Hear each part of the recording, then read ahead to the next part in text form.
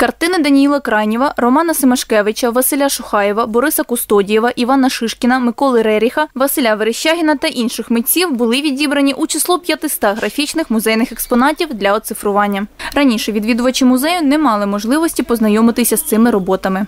Деякі роботи, які війшли до проєкту, вже експонувалися, а е, велика кількість робіт вона вперше буде, буде відциф- відцифрована і таким чином глядач отримує можливість ознайомитися з цими роботами. Повинна була бути оригінальна графіка, тому що е, група зберігання графіки в музеї взагалі дуже велика. Це біля 8 тисяч примірників, експонатів. Але ми вирішили, що треба відцифрувати найбільш е, цінні роботи. Це роботи десь 18, 19 і першої половини 20-х років 20-го століття.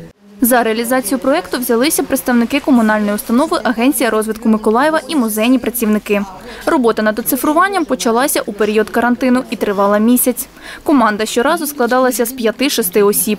Працювали у спеціальних рукавицях, щоб не пошкодити екземпляри.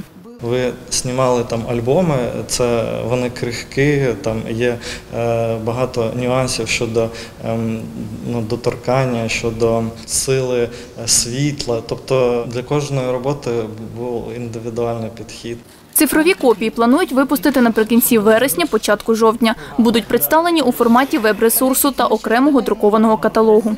Проект не лише про цифрування, він також передбачає створення п'яти 3D-моделей на основі оцифрованих е, п'яти робіт. Ми їх ще не обрали. Це анімовані в доповненій реальності такі 3D-моделі, які можна буде зчитувати за допомогою смартфону, наводячи на QR-код або на зображення саме е, цієї роботи. Зображення будуть або в каталозі і будуть на е, е, листівках е, сувенірних, які також ми будемо там або роздавати, або вони будуть в музеї знаходитися. І це буде таке додаткова промо цього проекту. Реалізація такого проєкту дозволить користувачам дистанційно знайомитись із музейною графікою Миколаївського музею. А працівники зможуть створювати віртуальні виставки, необмежено тиражувати копії творів та поширювати свої колекції на рівні з іншими музеями України. Тетяна Макушева, Юлія Філімон. Новини на Суспільному. Миколаїв.